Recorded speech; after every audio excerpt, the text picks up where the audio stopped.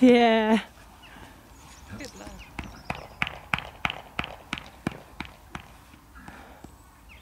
Killed him. He's dead. He goes down fast. Rest in peace. Bring him back.